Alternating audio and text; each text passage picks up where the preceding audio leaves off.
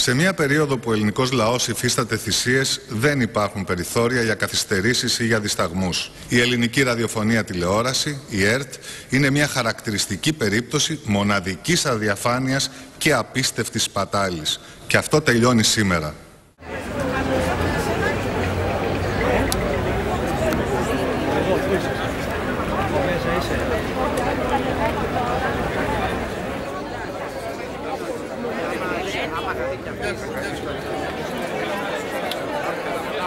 Και καλούμε όλο τον ελληνικό λαό να πάρει την υπόθεση της δημόσιας ραδιοτηλεόρασης στα χέρια του.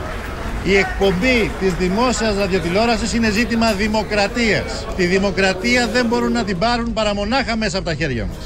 Εάν ο καθένας από εμάς δεν γίνει μία μικρή πυρηνική βόμβα που θα αλλάξει συνειδήσεις να ξαμολυθεί με την κοινωνία, δεν έχουμε καμία τύχη.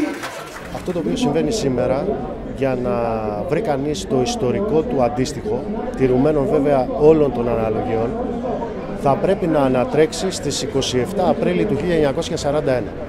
Ήταν τότε όταν μπήκαν οι Γερμανοί στην Αθήνα. Τότε μόνο δημόσια συχνότητα έκλεισε με τον τρόπο που περιέγραψε σήμερα ο κυβερνητικός εκπρόσωπος. Νομίζω το σύνθημα που επικρατεί σήμερα, ότι κλείνει σήμερα η ΕΡΤ και ανοίγει η ΕΝΕΔ, δηλαδή το χουντικό κανάλι, αντανακλά την πραγματικότητα. Δεν πρέπει να περάσει. Ο ελληνικός λαός έχει τη δύναμη και έχει την ιστορία και το φρόνημα να αντισταθεί. Η δημοκρατία δεν ε, θεσμοθετείται με πραξικοπήματα. Και έτσι το να καταργήσεις σε μία νυχτή την ΕΡΤ με τη μορφή που είναι αυτή και να φτιάξεις κάτι άλλο το οποίο δεν ξέρει κανένας τι, ε, αυτό είναι... Ας, αποφύγω πάλι τη λέξη πραξικόπημα και ας το πω βλακεία. Είναι βλακεία. Σε μια τέτοια κοινωνία δεν θα μπορούν πια να ζήσουν τα παιδιά μας. Με τέτοιες φασιστικές αποφάσεις. Ντροπή σε όλους όσους βγήκαν και απαιτούν ακόμα και τώρα μια τέτοια Ελλάδα.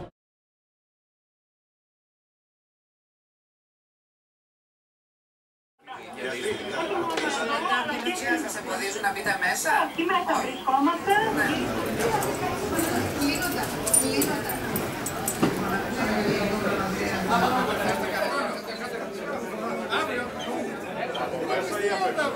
2.700 οικογένειες από αύριο θα πεινάσουν. Είναι δύσκολη η κατάσταση. Για εμάς που έχουμε οικογένειες, τι να πω, τι να πω. Είναι μια δύσκολη μέρα εργαζόμενοι δημοσιογράφοι, τεχνικοί, πάντα στο πλευρό των πολιτών και πάντα στο βωμό της ενημέρωσης, είναι αποφασισμένοι να μείνουν εδώ, να μην κλείσουν τα μικρόφωνα, να μην σταματήσουν να εκπέμπουν για όσο, ό,τι και αν αυτό σημαίνει. Όσες ώρες και αν σημαίνει, όσα ξενύχτια. Καλούμε τον κόσμο να έρθει εδώ. Τα έχουμε όλα ανοιχτά. Να έρθει να μας πει τη γνώμη του. Ο καθένας, από όπου και αν είναι, όπως γινόταν και μέχρι τώρα.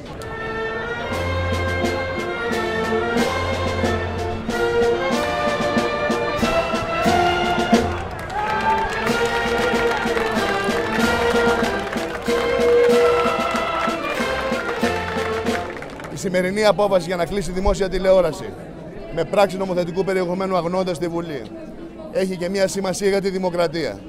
Η δημόσια τηλεόραση είναι εκείνο το μέσο το οποίο μεταφέρει τις φωνές όλων των κομμάτων στον ελληνικό λαό. Είναι μια ευθεία παραβίαση του συντάγματος, δεν υπάρχει καμία αμφιβολία περί αυτού. Είναι η θελημένη στρατηγική ευθεία βολή στη δημοκρατία. Ούτε οι πιο ακραίες απολυταρχίες δεν τόλμησαν με αυτόν τον τρόπο να δώσουν τέρμα στο δικαίωμα στην ενημέρωση και στην εκπομπή δημόσιας τηλεόρασης. Πρέπει να μην κανένα. Πρέπει να καλέσουμε κόσμο να γνωρίζουμε αυτή τη στιγμή να έρθουμε και να σε όπως ποτέ.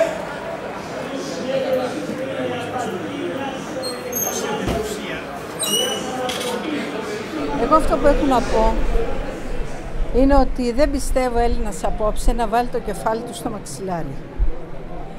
Απόψε παίζεται κορώνα γράμματα η, η φωνή μας, η, η συνείδησή μας, το δικαίωμά μας να λεγόμαστε άνθρωποι και να λεγόμαστε Έλληνες. Η ρωμιοσύνη μην την κλαίει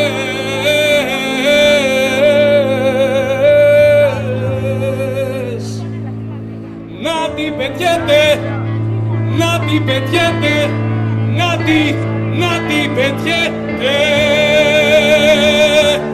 να τη πετιέται.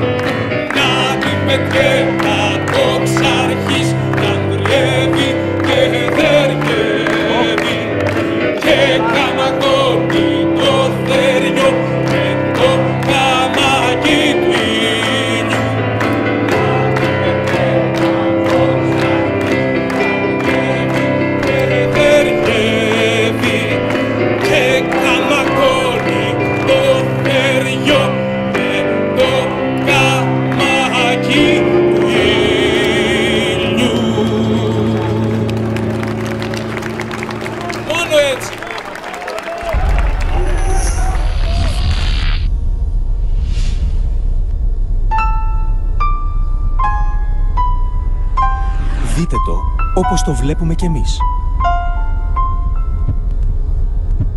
Πιστεύουμε ότι η τηλεόραση έχει μια αποστολή. Να μας δείξει το δρόμο για τη συλλογική προσπάθεια. Να μας κάνει να κλάψουμε.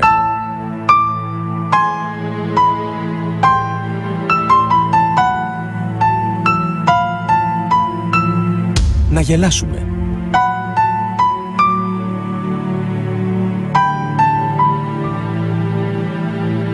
Προβληματιστούμε.